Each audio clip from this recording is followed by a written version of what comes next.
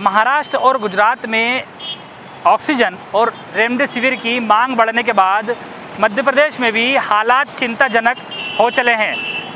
मध्य प्रदेश की बात करें तो मध्य प्रदेश में इस वक्त कोरोना संक्रमण की जो लहर है, काफ़ी तेज़ होती जा रही है। उसके बावजूद भी जो लोग हैं, सोशल डिस्टेंसिंग और मास्क लगाने का पालन फ़िलहाल करते हुए नज़र नहीं आ रहे हैं। काफ़ी स्थिति खराब हो चुकी है इंदौर के अधिकतर जो अस्पताल हैं, वो पूरे भर चुके हैं। बेड की कमी होती जा रही है और ज़िला प्रशासन भी लगातार कोशिश कर रहा है कि जिस प्रकार से भी हो, लोगों को जल्द से जल्द अच्छी सुविधा यहाँ पर मिले ताकि उनका इलाज हो सके। लेकिन बावजूद उसके जिस प्रकार से मरीजों की संख्या बढ़ती जा रही है, उससे ज़िला प्रशासन की चिंताएँ बढ़ चुकी है। इंदौर में जिस प्रकार से अभी बेड की हालत काफ़ी चिंताजनक है लेकिन फ़िलहाल जो ज़िला प्रशासन है कहीं ना कहीं व्यवस्था में लगा हुआ है। अस्थाई अस्पताल की बात भी होती जा रही है लेकिन फ़िलहाल अस्थाई अस्पताल के लिए यहाँ पर स्टाफ मौजूद नहीं है। ऑक्सीजन और रेमडेसिविर जो इंजेक्शन है उसको लेकर काफ़ी यहाँ पर आ, हालत ख़राब पड़ी हुई है क्योंकि जिस प्रकार से देखा जाए तो अस्पतालों में कोरोना संक्रमण के जो गंभीर मरीज़ हैं, उनको ऑक्सीजन की ज़रूरत काफ़ी लगती है। उसी के साथ जो रेमडेसिविर इंजेक्शन है, उसकी भी ज़रूरत उनको लगती है। लेकिन लगातार जो है, इसका संकट बढ़ता जा रहा है। लगातार प्रदेश सरकार इस संकट से जूझ रही है। लेकिन कहीं ना कहीं इंदौर ज़िला प्रशासन और यहाँ के जो इंदौर ज़िला प्रशासन के जो अधिकारी हैं, वह इस कोशिश में लगे हैं कि जल्द से जल्द इंदौर को इस मुश्किल घड़ी से निजात दिला सके।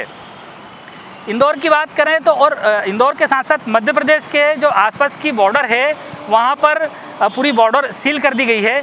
छत्तीसगढ़ और महाराष्ट्र की जो बॉर्डर है, उनको सील करने के बाद वहाँ से अब किसी प्रकार की आवाजाही नहीं की जा रही है।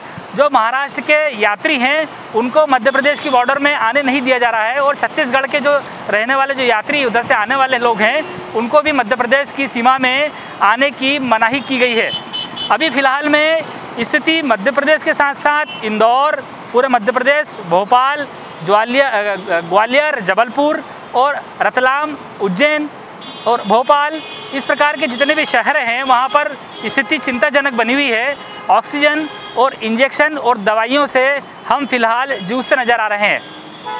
हमारा एम पी न्यूज़ के माध्यम से हम आपसे एक यही अपील करना चाहते हैं कि आपके परिवार की सुरक्षा के लिए, आपके देश और आपके समाज की सुरक्षा के लिए, आपके शहर की सुरक्षा के लिए आपको मास्क बहुत ज़रूरी लगाना है।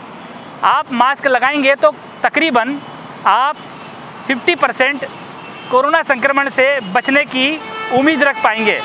सोशल डिस्टेंसिंग का पालन करेंगे, हाथ सैनिटाइज करेंगे और ज़रूरी ना हो तो घरों से बाहर ना निकलें।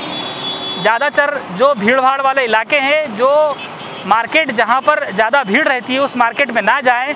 अगर कोई मास्क पहना हुआ, आपको नहीं दिखता हुआ है तो उसको आप टोंकें, उसको मास्क पहनाएँ। बोले, आप मास्क पहने क्योंकि अभी फ़िलहाल में आपके पास एक ही सबसे बड़ा हथियार है, आपके चेहरे पे लगा हुआ वो मास्क। इंदौर से एमपी न्यूज़ के लिए धर्मेंद्र यादव की रिपोर्ट। एमपी की नब्स एमपी का हाल, मध्य प्रदेश की हर खबर एमपी न्यूज़ टीवी के साथ। लगातार खबरों के लिए सब्सक्राइब करें हमारा YouTube channel MP news TV latest updates के लिए बेल आइकन दबाना जरा भी न भूलें।